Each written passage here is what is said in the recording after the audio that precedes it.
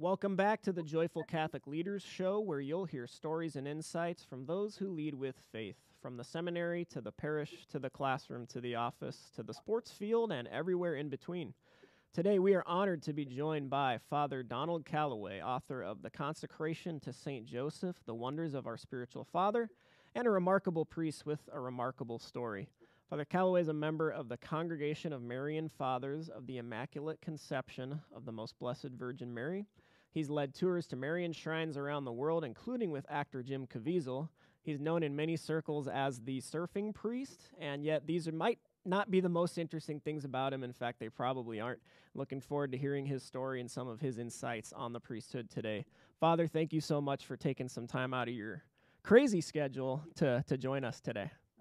Yeah, no problem at all. Glad to do it. Um, yeah, God has been good to me, brother, for sure. And I'm I'm just trying to bring as many souls to him now as I possibly can. So yeah, amen, amen. That's uh, that's that's always the the end goal. That's the idea. So, um, you know, one of my favorite things about this line of work is getting to hear different priests' vocation stories. Um, every single uh, man with the collar has one, uh, but then there's yours. Uh, you know, um, seen other interviews with you online before, um, and one of the things that always strikes me is when you talk about kind of your upbringing and, and the growth you've experienced in your conversion to the church, it almost feels like you're you're telling a story about a completely different person, and you have to sort of bring yourself back and remember, no, this is this is the same guy. So um, let's just start with your story, Father, kind of the the Cliff Notes version of how you first came to the faith and and then to the priesthood. I know you've told it a thousand times, but I know our audience would love to hear it. Yeah, absolutely, no problem at all. Um, yeah, so I wasn't raised in a Christian Catholic household at all, and growing up, that was completely foreign to me. I didn't believe in God. I was baptized when I was 10, but that was in the Episcopalian church, and only because my stepfather's parents, my new grandparents, insisted on it, and we didn't go to church after that. And so I very much was a product of the world and got involved in very sinful, uh, immoral activity as a young boy. And then it got so bad that we, as a family, as a military family at that point, my stepfather was in the military. Uh, we were living in Japan, and I got uh, involved in a criminal organization, got kicked out of the country. But through all that craziness, my parents became Catholic. And then I went to two drug and alcohol rehabilitation centers. I got thrown in jail when I was 18 in Louisiana. And it took some time, but through my mom's prayers and sacrifices, um, I had what I call the divine two by four experience when I was 21 and just fell madly in love with God, with Jesus Christ, with the Catholic Church, with the Blessed Virgin Mary, with the saints, and had a radical conversion. And then that's shortly after that, that's when I got my call uh, to become a Catholic priest. So it's the last thing I ever thought that I would be doing in my life, but um, the God I didn't know had um, plans for me and a lot of mercy for me. So I'm extremely grateful. And now I've been a priest almost 20 years. Wow. And write, yeah, write books and travel around and trying to let souls know that there's mercy for them and that uh, God is real and that He loves them. Sure. Well, you're a living testament to that. So, diving a little deeper, you mentioned the the criminal organization in in Japan. You were basically a drug runner, right? Or tell me tell me a yep. little more about that. Yeah, so when we were there, um, we were there for well, we should have been there for three years, but I I so messed it up we had to leave. Um, but I 15 years old was when I was a drug mule for the yakuza, the yakuza in Japan. Not a lot of people over here know what that is, but no. it's, it's a criminal organization that runs you know drugs and money, and it's very serious stuff in Japan. And they never fully initiate you know little white boys like myself but they used me as a, as a drug mule to take things to different casinos and, and places. Sure. And it was an insane life. It was, I was only 15 and I was running loose in Japan doing that. And it caused an international scene. So thank God I wasn't killed um, or became a casualty in any way because of that. It was bad. Yeah. Crazy. How, how do you get from there to converting to the church? well, um, I always joke around with my mom. Um, I always tell her, "Mom, I'm the reason you found God. you know, there you, you go. needed to yeah. deal with me." You know, so she doesn't laugh at that one, but it's true. um, so when they had their own conversion, you know, they became super Catholic. So they bought tons of books about our Lord, about the saints, about Our Lady. Well, when I hit my rock bottom, when I was uh, t- going on 21, um, I went out to their bookshelf in the hallway and picked up a book on Our Lady about apparitions, and I didn't even know what that was. And that book was the catalyst that got me looking into stuff and questioning. Wait, am I the one who's been deceived? Because I always thought that religion was crazy for crazy people. Um, and so that got me to go to a Catholic church and encounter zealous, on fire Catholics that taught me stuff. And then I realized my parents weren't nuts, that they were right. And that's when I enrolled in RCIA and uh, went through the process of becoming Catholic myself. What What do you think made you pick up that book? Like, of any book you could have grabbed off the shelf. Yeah, well, definitely it was divine providence, right? Yeah. So, but that particular night, I was at my ultimate rock bottom, and I had a lot of those experiences. You know, I've been in two rehabs, I've been in Yeah. jail, and lived a crazy life. But that particular night, um, I was at my ultimate low. I didn't even want to be here anymore. Mm. And um, I went out. I was actually looking for a National Geographic. I didn't want to look at anything religious. You found a little more than that. Yeah, I did. And I pulled it off the shelf and I'm like, what is this? And started going through it. And next thing you know, um, the morning came. I'd stayed up all night. And that's when I told my mom that I wanted to talk to a Catholic priest. Wow. And and this is something we joke about to this day too. My mom, you know, it's like six o'clock in the morning, and I'm trying to tell her I want to talk to a Catholic priest. And I had long hair down to my waist at this point, and she said, "Yeah, right." you know, she Yeah. thought I was joking, yeah. and I was, "Mom, I'm serious. What is this stuff?" And uh, everything just snowballed from there. That's awesome. Um, Yeah. so another part of your story I kind of picked up on was you, you kind of had a, a beautiful encounter with with the Eucharist shortly after you picked up that book, and um, Mhm. you even have described it as you heard a voice, and the voice said, you know, worship. Um, walk us through that, and and you really knew that God was speaking to you at that time, even coming from, Yeah. you know, the the place you were coming from. Um, how Yep. did you know? What made you so certain that, that God was speaking to you in that moment? Yeah, that it's an incredible thing because I've I've never had that happen since then. Yeah. but it was the next day right i read that book i went to see a catholic priest and he told me he had to he would talk to me after he did this thing called celebrate mass i didn't even know what that was so i'm like whatever Yeah. and you know told me go over to the chapel and then he came over and he started doing all kind of stuff i was completely unfamiliar with i'd never been to church and so all of a sudden he bends over and he picks up this little white circle and he says take this all of you and eat it this is my body and he holds it up and initially, I have to say, I thought the man was a lunatic because he just told us that's his body and we got to eat it. That's what he said. And I thought, this is crazy talk. But then he just stood there. And that's when I heard a voice. And it wasn't a voice that was spoken to my ear, it was a voice that was spoken to me. And that's extremely hard to even explain. I don't even understand it. It was spoken to me, inside Yeah. of me. And the voice said to me, worship. And I don't know where this came from, but I just had like an infusion of knowledge that I knew that that was Jesus Christ. What that man was holding in his hands was God somehow. I didn't understand terms like Blessed Sacrament or Holy Communion or Eucharist. I didn't know what, he, what those would have been, but it was Jesus. And so then he put down Jesus and he picked up that you know chalice and he said, "Take this, all of you, and drink from it." And he held it up, and I heard the same voice, worship, and I had the same experience of knowing that that was God. And I went to the priest after and told him, and I completely freaked him out because he's like, "You heard what?" And I'm like, "Yeah, I did. You didn't hear it? I thought everybody heard it." And he Wow. said, "No." And I'm like, "What?" I'm like, because there was nobody in that church but him, five Filipino women up front, and me in the back. That was it. Wow. And yeah, it's just daily incredible. mass, right? Yeah, just a daily mass. Yeah. And oh wow, yeah, I've never had that happen since then, but wow, it was incredible for yeah, sure. set you on an amazing path.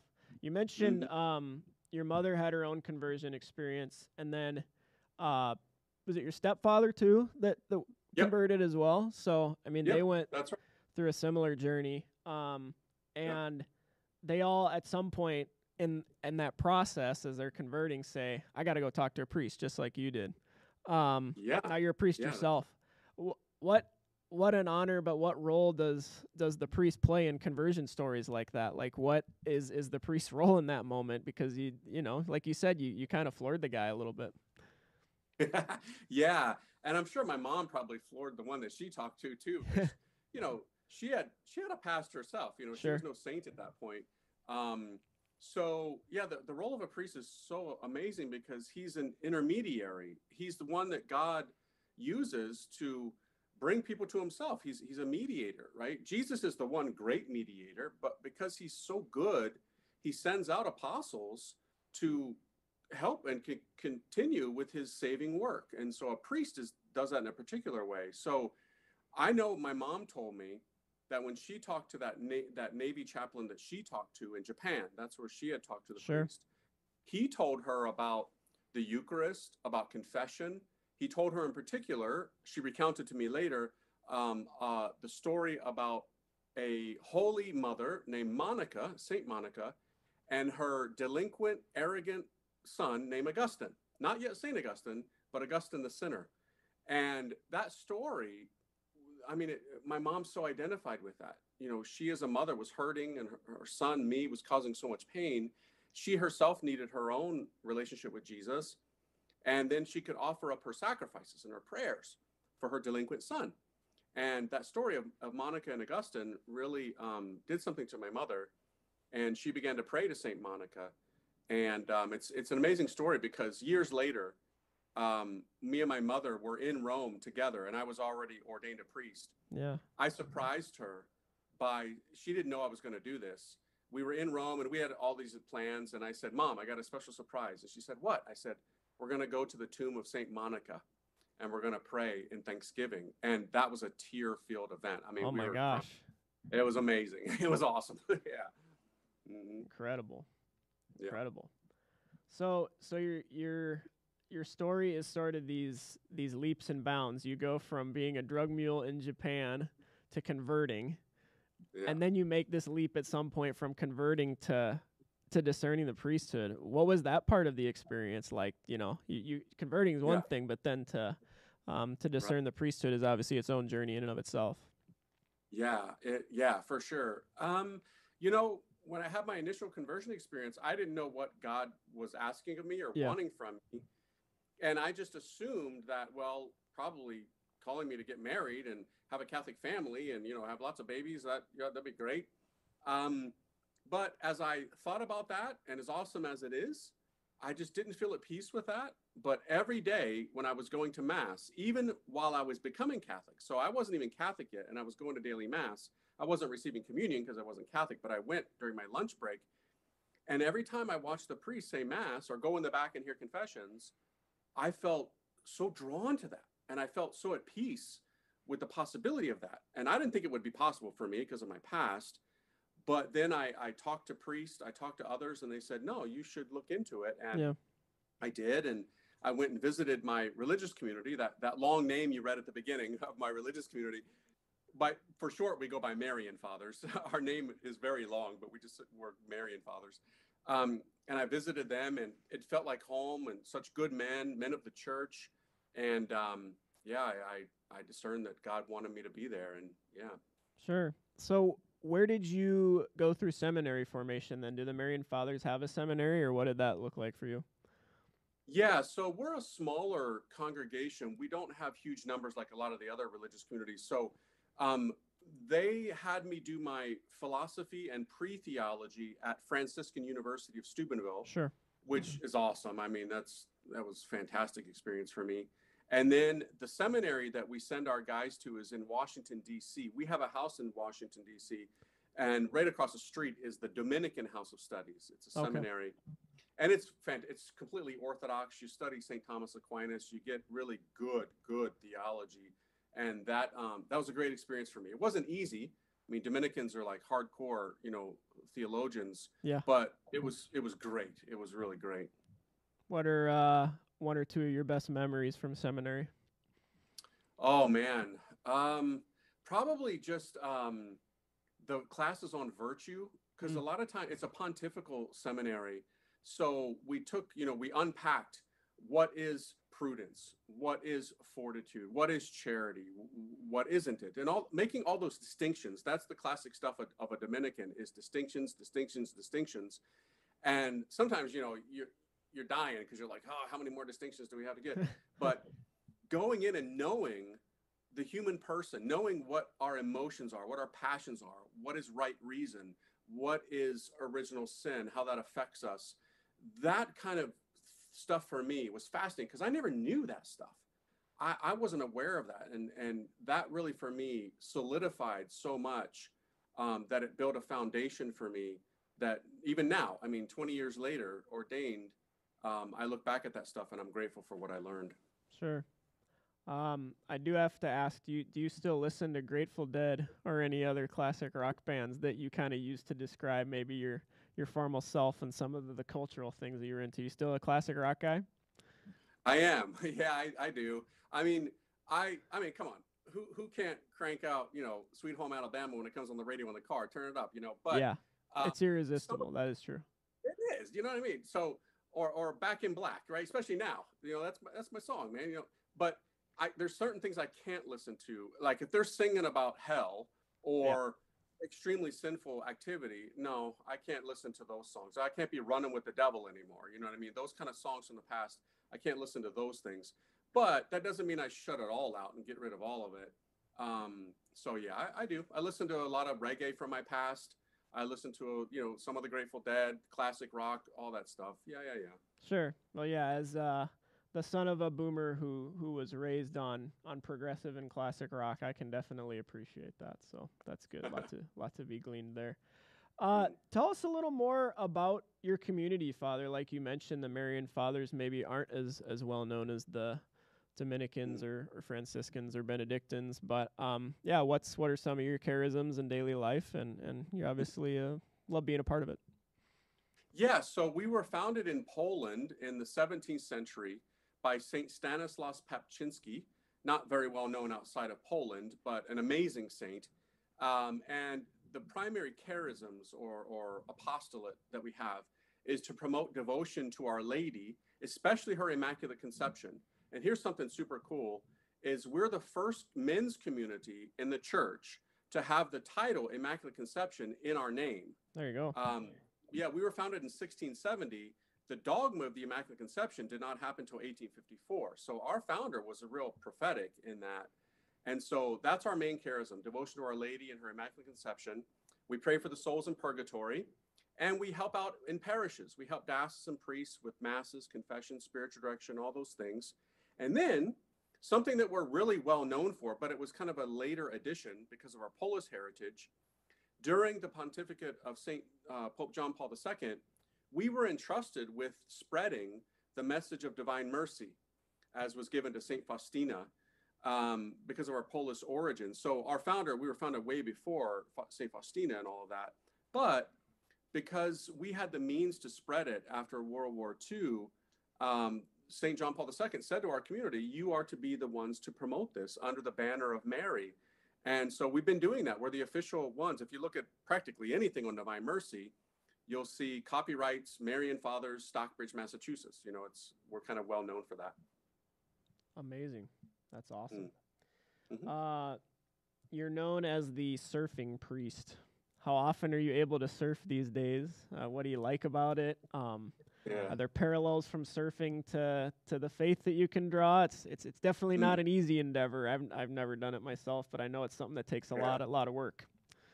It does, yeah, and you got to keep in shape relatively. I mean, it's it's it's exhausting. Yeah, I've been doing it since I was a little kid, but um, yeah, I, I do it as much as I can. Obviously, I don't do it as much as I would like or as I I could because I'm busy. I'm a priest first. You know that surfing is secondary stuff.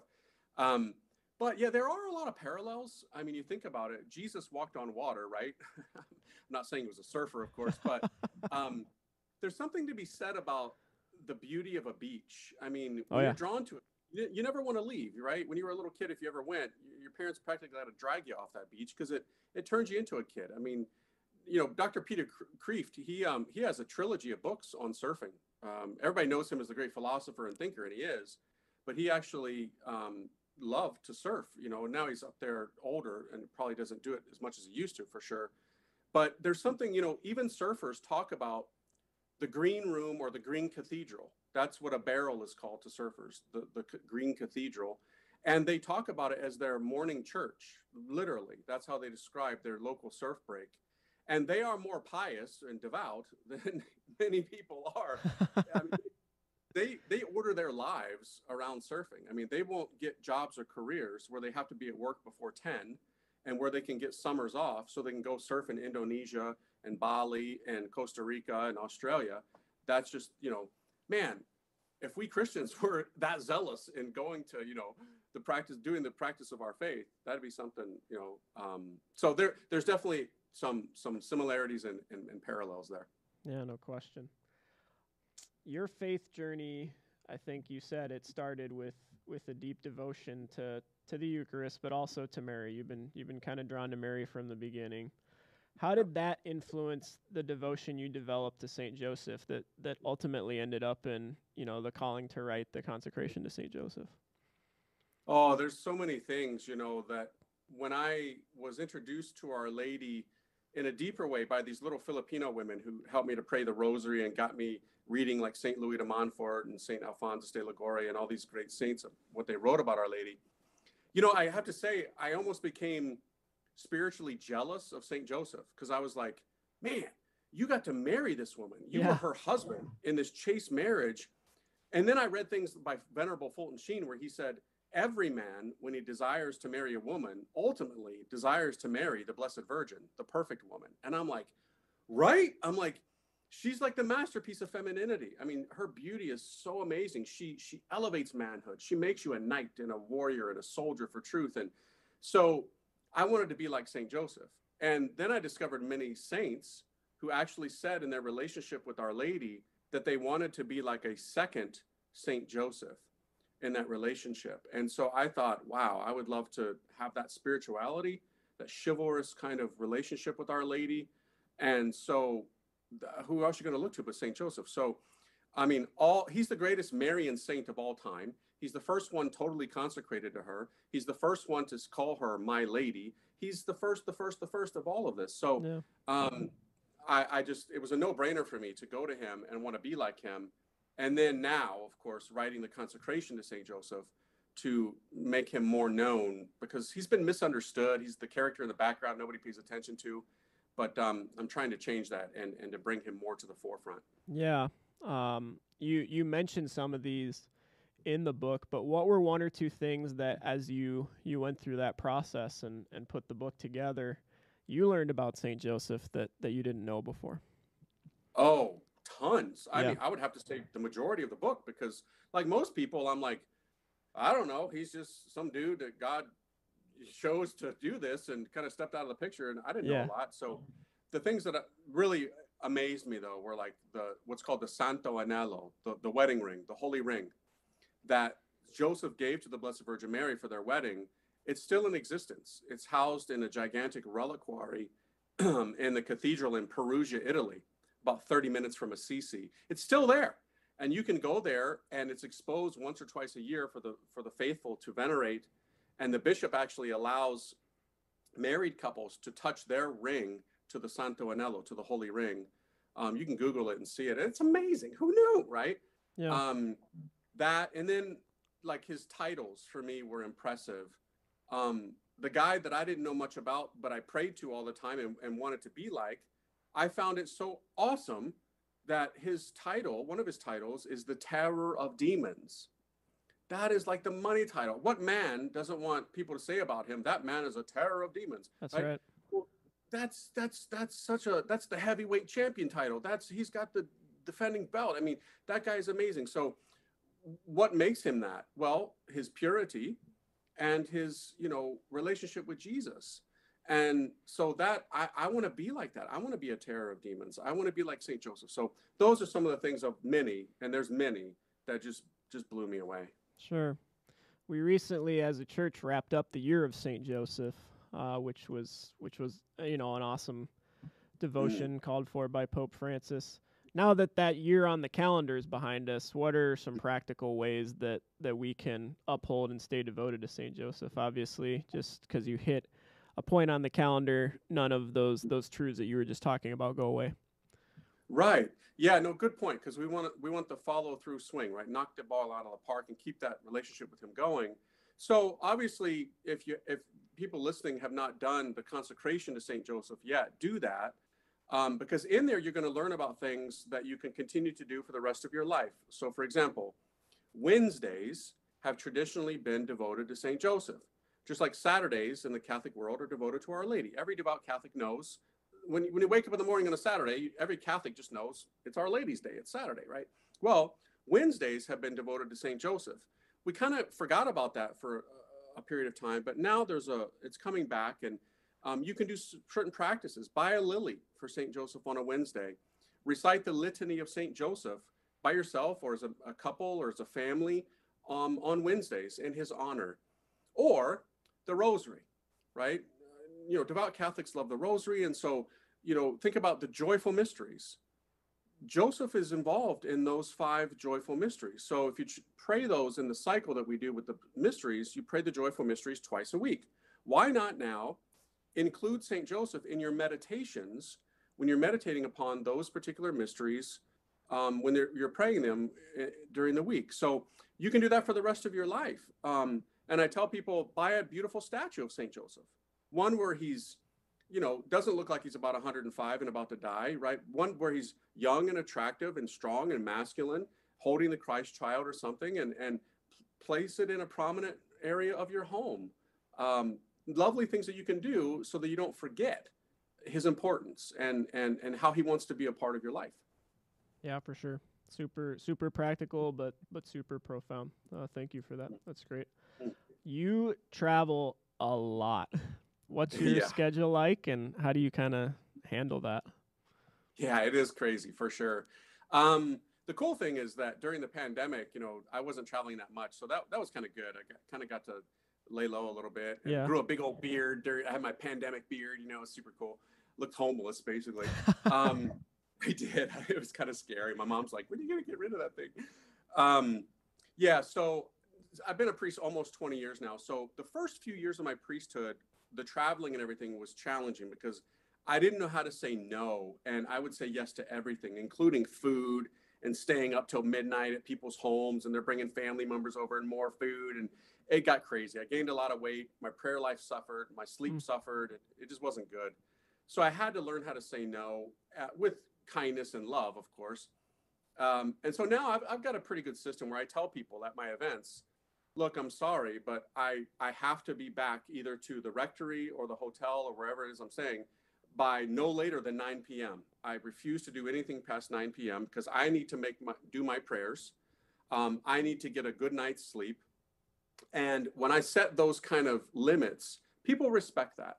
And I'll tell them in, in, in anticipation, please don't kind of like just run me around and throw food at me constantly. No disrespect to you and your culture, because certain cultures, you know, these are these are big things. You know, you go to these big meals and they got piles of food, and I respect that, and I'll nibble on things, but I want to be healthy too. You know, I, I don't want to be you know overweight, and I don't want to feel sluggish. You know, so um, I learned how to set those standards and get my prayers in, get my sleep in, get physical activity in, all those things, and um, and I'm very connected to my community. I'm the vocation director for my community, so I'm the guy out there recruiting and doing the fishing, you know, getting the guys in. Sure. Um, and I love doing that. And I'm going to constant meetings with the community for personnel, finance, you know, all those kind of issues, and got a few leadership positions in the community. So keeps me grounded. You know, keeps keeps me uh, focused as well. Sure. Yeah, I'm sure staying grounded is important, especially when you have a story like you do, and um, you're so gracious enough to to go tell it to where you know there are videos of you telling it on youtube with hundreds of thousands of views like people know who you are you know? Um yeah, how yeah. how do you how do you stay grounded other than is it just those daily disciplines? I mean i'm sure prayer is a big part of it but i mean how do you how do you handle the the the fame or attention or whatever the right word is? Yeah i know. I, yeah it's funny because i you know on social media they call you, you have fans right? I yeah you're an influencer friends, right? yeah well that's what they say right? I I'm not a guru or anything, you know. I'm I'm I'm a dude, man, I'm, and I'm a priest, so I, I yeah. want to save souls. Yeah. And people may look at me like I'm somebody special, but I know who I am. I know I put my pants on just like everybody else. Yep. And you know, God doesn't love me more than He loves them, and so I know my own weaknesses and and you know what I say in confession. So, yeah, it my own brokenness humbles me. So I'm grateful that um, I'm able to help people but at the same time, I'm trying to cross that finish line just like everybody else. So um, I need their prayers, and we're in this together. Awesome. one more, and we'll get you out of here. Kind of generic, but um, and maybe you've you've touched on this in our last couple uh, exchanges here, but how do you stay joyful, or how do you how do you live joy in your priesthood? Yeah, I would definitely say without prayer, forget it because Yeah. um, you know it's very easy today to look at, especially things on social media and the news, and just get so bummed out, sarcastic, depressed, and just all hope sucked out of your life because everything just seems so gloomy. And granted, yes, we are living in difficult times, without a doubt. But when you pray, you remember this is all passing. And my God is in love with me, and I'm in love with him. And yes, there are things out there that are horrible. But you know what? I have to focus on my little area right here in front of me, not what's going on over here or over there or looking at comparing over there. Just let me focus on what it is that I've been assigned to do and be at peace.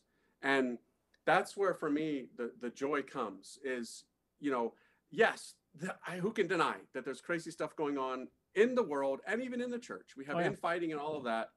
Lord, I leave it up to you. I'm doing my part to be holy and help others become holy, making myself available for for your people, um, and you know, giving you what is yours, adoring you, worshiping you, and so I can go to bed at night and and and be at peace. Um, took me a while to get that balance again, right?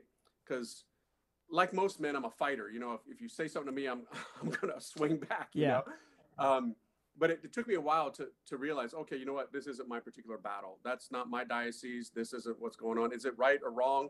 Yeah, I got my thoughts on those issues, but yeah, that's not my battle. I got a battle right here. Let me fight my own little battle right here. You know. sure. So, and you can keep joy in that because you realize, you know, you don't have to walk around with a chip on your shoulder and just looking for a fight, you know, because a lot of people do that today. They're just like in fight mode constantly, like, hey, hey, you know, relax, at ease, soldier, right? You fight Yeah. your battle, but you don't have to fight everybody else's battle, you know. That's right. Oh, Yeah. so much wisdom. Um, well, thank you so much, Father. I feel like I could uh, to waste uh, even more of your time and talk to you, you know, a lot more uh, time than we have here. But thank you so much for being so gracious with your time and, and joining us today Yeah. and, and sharing your story. Thanks, man. I appreciate it. God bless you and keep up the good work, man. Thank you. Appreciate it. Thank you, too, for joining us on this edition of the Joyful Catholic Leaders Show. Be sure to subscribe wherever you find your podcasts and follow both the St. Paul Seminary and St. John Vianney College Seminary on social media and at semsp.org. New episodes drop every month on the first Friday of the month in honor of Our Lady of Fatima and the most sacred heart of Jesus. Thanks for listening, and God bless.